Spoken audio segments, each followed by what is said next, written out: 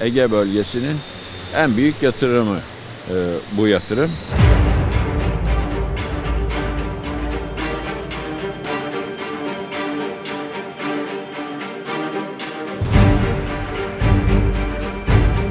Ülke ekonomisine büyük katkı sunan ve sağladığı istihdamla kahraman şehrin amiral gemisi olan Kipaş Holding, yerli ve milli sermayesiyle büyümeye ve başarılarına başarı katmaya devam ediyor. Bir kere yatırımımız stratejik bir yatırım. Stratejik yatırımlar Türkiye'ye kullandığı ürünün yüzde 50'sinden fazlasını ithal ediyorsa o yapılan yatırımlar ithalatı önleme açısından stratejik yatırım grubuna giriyor.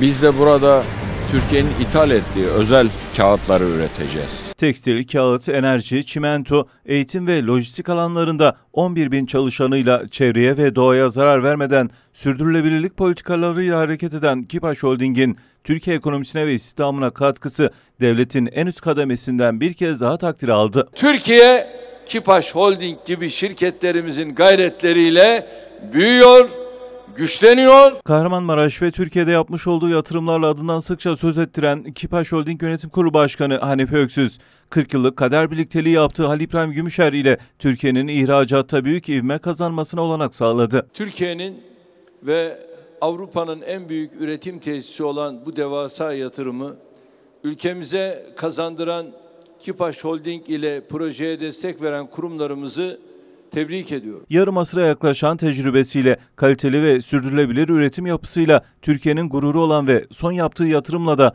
Avrupa'nın en büyüğü olan Kipaş Holding'in bu başarısı ülkenin en büyük 10 yatırımından da biri oldu. Avrupa'nın en büyük tesisi olacağız. Cumhurbaşkanı Recep Tayyip Erdoğan'ın sosyal medya hesabından yaptığı paylaşımla Kipaş Holding'in Aydın Söke Organize Sanayi Bölgesi'nde kurduğu Avrupa'nın en büyük kağıt fabrikası 2022 yılının ilk 5 ayında yapılan en büyük yatırımlar içerisinde yerini aldı.